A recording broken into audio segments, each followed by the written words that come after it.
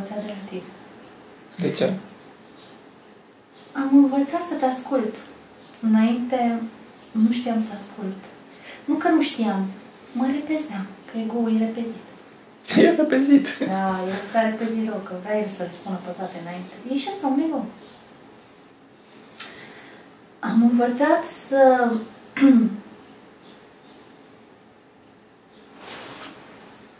să nu sun dacă nu mă sun, sau să te întreb dacă trebuie să te sun, să te las pe tine să vin spre mine, de exemplu cu filmarea, cu, fără să aștept nimica. Am învățat să stau în liniște și pace, chiar dacă aveam, am învățat foarte bine să stau în asta, chiar să nu mă deranjez nimic. Am învățat că Dumnezeu era în toate și se arăta în fața mea, indiferent pe unde călcam, pe unde mergeam. În toate formele posibile. Exact. Am învățat foarte multe lucruri de la tine, într-adevăr. Și cel mai frumos am învățat să fiu umil. Să nu mai mă măresc pe mine. Poate avem tendință. Am spus, îmi place să stau în umbra ta. De ce? Că dacă aș merge un pas în față, merg, crește ego atât de mare, cred că nici nu mai mai vedea de ego. Că asta crește imediat. Atunci am place Se să umflă. stau în umbra ta și să mă vadă mai puțin pe mine și mai mult pe tine. am învățat foarte multe lucruri de la tine. Nici tu nu ți-ai dat seama. Te-am observat pe tine și înainte, de exemplu, scriam foarte mult. Ai văzut pe WhatsApp înainte era, acum e pe... Acum nu mai scriu. Și comentarii pe Facebook. Da. Acum spun decât mulțumesc. De ce? Pentru că deja filmulețele pe care le facem și tot, tot materialul pe care îl punem și cărțile tale, mesajul tău și toate conferințele astea care le ținem noi, explică destul și aduce destul pe Dumnezeu în față decât să-L pui tu în comportament dacă vrei, adică noi. nu mai e nevoie de comentarii. În momentul în care te, mă duc pe pagina ta și postez ceva, am învățat să spun mulțumesc. Și am mai văzut eu o doamnă acolo care spune și ea mulțumesc. Înainte mă uitam, eu nu întreb de ce, dar mă uitam că mereu spunea mulțumesc. Nu mi-am pus întrebarea, dar o observație că spunea mulțumesc. După aia am văzut că, de fapt, nu trebuie decât să mulțumim sau să dăm un like. De ce? Pentru că a justifica ceva sau a vrea să-ți impui felul tău de a simți și a vedea lucrurile înseamnă a-ți impune ego. A te justifica înseamnă a-ți fixa un ego. Nu l-ai, tu îți fixezi, uite acum. În momentul în care nu-mi cere ajutor, am învățat de la tine să nu ți-l dau. Pentru că nu bate. Când bate Dumnezeu la ușa ta, ți-l cere sau te sună pe telefon sau își cere sfatul, dă-i. Că El a adus acolo, El este. Dar în momentul în care vrei tu de benevol așa să dai tu sfaturi, nu este, nu ești în divin. De ce nu ești în divin? Pentru că vrei să controlezi, să, ai un, să deții un control. Vezi că te-am învățat de la tine. Mhm. Și am spus în- înainte că poate te așteptai de la un prost ca mine, oare te așteptai să facă toate lucrurile astea? E, nici eu nu m-am așteptat, să fiu sincer. Dar așa frumos lucrează Dumnezeu în noi, că nici nu-ți vine să crezi. Și îți mulțumesc pentru asta. Și încă învăț. Deci încă mai învăț de la tine. Nu pot să spun că aia, nu, noi tot timpul învățăm. Dar una dintre cele mai frumoase lucruri pe care le-am învățat de la tine e smerenie. Pentru că mă uitam la tine de câte ori ai avut un interviu, că lăsai interlocutorul tău să vorbească și niciodată nu interveneai. Stăteai în smerit și așa faci mereu, nu... Și ascultai și în momentul în care nu te lăsa să vorbești, nici nu încercai să vorbești. E, să știi că acum fac și eu asta. În momentul în care vorbești, tu ai văzut, nu mai intră, te las în pace. Și stau așa până tu îmi dai voie să vorbești și eu. De ce? Păi mă oprește Dumnezeu, divinitatea. Că atunci când îl pui în comportament, te oprește el, stop. Lasă-l pe el acum. Acum eu îl las pe el să vorbească. Îți va veni rândul ție când îți voi da ție voie să vorbești. Dar numai dacă îți dau voie. Că dacă eu nu-ți dau voie, tu nu ai de ce să vorbești. Și tac într-o muțenie că apoi îmi dai tu microfon să vorbești și nu mai poți să vorbesc nici eu. câte un- Și am învățat de la tine. Lucrurile astea eu nu le-am avut înainte. Sunt lucruri care ți se par... hmm. Am învățat chiar să mă îmbrac mai... uh, Adică să nu dau atenție pe imagine. Bine, nici înainte nu le dam, dar acum dau mai puțin decât înainte. Pentru că am învățat de la tine că umilință înseamnă și... Nu umilință, că umilință e un cuvânt, nu știu dacă e lăsarea de sine, de fapt. Vezi? Lăsarea de sine. Pentru că am învățat că imaginea nu este importantă. Și îți mulțumesc pentru asta. E mare lecție asta, să știi. De exemplu, am învățat să alerg până la tine, să-ți dau ceva, numai așa. Că îmi fac mie o bucurie. Nu că-ți fac ție, îmi fac mie o bucurie. Și asta am învățat de la tine, când vii la mine, știi? Vii pur și simplu, te găsesc aici. E o bucurie. Una că te e o bucurie că tu ai făcut asta, e și pentru tine. Am învățat de la tine. Cea mai mare putere este lipsa de putere? Da. Să n-ai putere. Atunci ești cel mai puternic. Știi de ce? Pentru că, uite, de câte ori am avut lecții de viață și noi spunem că te-a dărâmat viața, te-a pus pe zero, dar de fapt nu e real. Zero ăla înseamnă mai mult decât crezi tu. Am avut să iau viața de la zero de nu știu câte ori, nu dau număr acum. Cel mai minunat. Știi de ce? Pentru că mi-am dat seama că era decât iubire acolo. Te lăsai pe tine, te lăsai pe tine până la zero. Și din zero ăla erai cel mai puternic.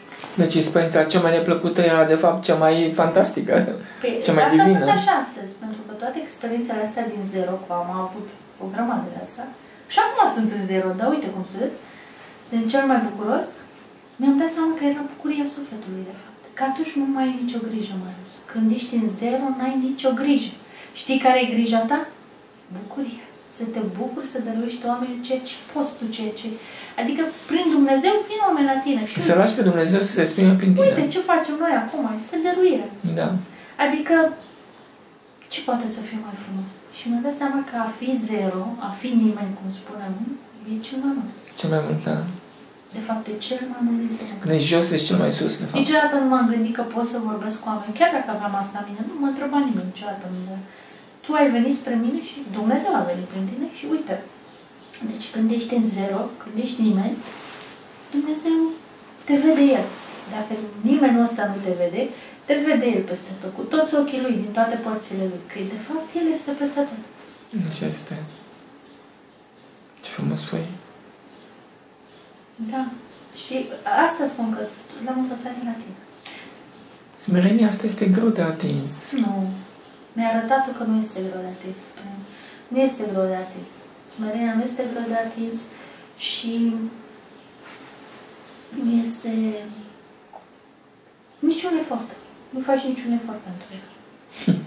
A te lăsa pe tine nu faci niciun efort. Nici nu-ți mai dai seama că sufletul... Ce costă bani și nu cere efort, da. Da, dar sufletul nici nu-l interesează. Am văzut că nu interesează. Bine, am zis să nu ești ca o mătură acum ca să...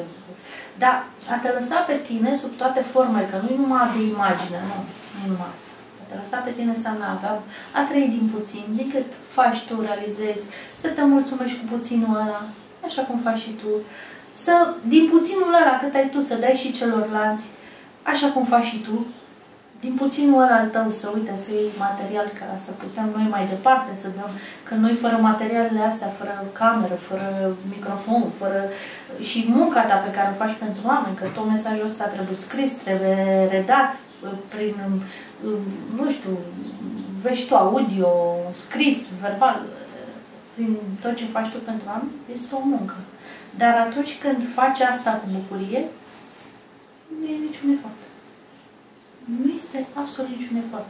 Înseamnă că faci pentru oameni, este dăruire și nu mai trăiești nici în puțin, vei vedea că trăiești în mult și vei vedea că oamenii vin ei spre tine și nu mai e nevoie ca tu să faci ceva, și totul se schimbă, așa cum a zis Marian, când eu m-am schimbat pe mine, toată realitatea, toți oamenii s-au schimbat. Și mi s-a întâmplat și mie. Da, și afacerea a început să funcționeze. Tot ușor, ușor. Partenerul de afaceri s-a schimbat și merge afacerea cum este mine, merge pe plan spiritual, adică Dumnezeu îmi ia ceva, știe El de ce. Uh-huh. Dar îmi dă altceva ca să dau oamenilor, care e mult mai important, zic eu, decât, decât așa cum face și la tine. Că tu material ca și mine, ești mai... Dar ce dăruim oamenilor, ce mergem să dăm mai departe, e mult mai valoros decât toți banii din lume. Și asta. Și ziceam un lucru interesant, dacă uh, angajații lui, lui Marian uh, criticau clienții și din cauza asta uh, clienții nu veneau și nu mergea bine afacerea, în măsura în care el a renunțat la critică total și a acceptat, cu toate că are un partener de afaceri care uh, tot timpul i-a creat uh, situații în care lui a venit să intervină și acum cu tot riscul a zis n-a mai intervenit. Și când a mai intervenit s-a schimbat și partenerul de afaceri, dar și colaboratorii lui din senin. Deci erau critica, critica lui era este ce este venea din tine, din față. și nu e din senin. E pentru că tu te-ai schimbat, da. tot în jurul tău se schimbă, pentru că acolo ești tot tu. Exact. Asta ce noi nu înțelegem, că în față ești tot tu. Da. Tu nu ai în fața ta persoane, oameni, am mai spus, tu ai în fața ta pe Dumnezeu care ești tot tu. tu nu știi de puterea ta. Tu nu știi de puterea ta, că ai zis înainte ce înseamnă să ai putere. A nu avea, dar puterea ta e alta de fapt. Și tu nu cunoști puterea ta, pentru că dacă tu ai cunoaște puterea ta și ți-ai dat seama că tu ești creator, ți-ar fi rușine să spui, uh, de exemplu, să suduiești pe cineva pentru că știi că pe tine te... Ție îți faci rău, ție îți faci neplăcere. Da, și aduci neplăcere după aceea și vei suferi. Și atunci când te schimbi... Nu e interesul nostru să fim... Dar nu este un interes, nu e un interes. Nu e spre binele nostru nici măcar bine. Îți faci ție un, o neplăcere, că tu vei suporta. Da. E cauza și efectul la ce faci. Da. Critica mea este neplăcerea din față. Exact. Da. Și atunci când înțeleg lucrul ăsta, opresc critica și dispar neplăcerile. Dispar bolile. Numai în viața asta poți să ai lucrul ăsta. Să poți să ai această experiență. Ca să poți să te, să te desăvârșești, să ajungi în iubirea asta lui Dumnezeu total, ai posibilitatea numai aici. Sigur. De asta zic că viața asta în planul ăsta este un dar mare, divin. Sigur. Că tu povesteai că îngerii acolo ar vrea să aibă această viață, pentru că acolo nu ai posibilitatea. Da, au nevoie de uh, dificultăți. Exact, pentru că acolo nu le mai ai. Exact, da. Știi că ți-am spus eu că acum aici duc o viață de asta, nu știu cum o fi sus. Dar de, am zis, de... Deci de ce ne plângem noi aici, avem ce mai mult nevoie dincolo. Uh, acum duc o viață aia de, mai zis eu, de facă-se voia ta, dar de mm, reveneală, cum zic eu. Și îți dai seama, de sta pe, la soare. Pe, pentru îngerii de acolo, viața cu greutăți de aici este raiul. Da. Invers. Da, da. și acum și noi fugim de vezi, ceva, de Dacă nu mai e nimic și nu-ți mai vine, da, să te bucuri, zici că și în partea cealaltă, ai nevoie da, da, ai nevoie, totuși da. e nevoie. Scot iubirea din tine. Te, te, orice deranj, cât de neplăcut ar fi, Uh, am avut pe cineva care a zis de la discuția asta, mi-a schimbat energia, acum sunt agitat, sunt văd, bucură-te că ți-ai schimbat. Că e agitație din tine, înseamnă că te-a deranjat, nu ai acceptat, ai neacceptare în tine. În momentul în care nu te deranjează, era altceva, dar în momentul în care te-a deranjat și ți-ai schimbat energia, bucură-te, că înseamnă că să spui întrebarea ce din tine te deranjează, că Sigur. înseamnă că toată discuția Începe noastră schimbarea. este în da. tine. Da. Exact. Și bucură-te, dar nu știu dacă înțeles. Asta nu mai știu. Înțeles. Mulțumesc frumos. Și eu să mulțumesc mai mult.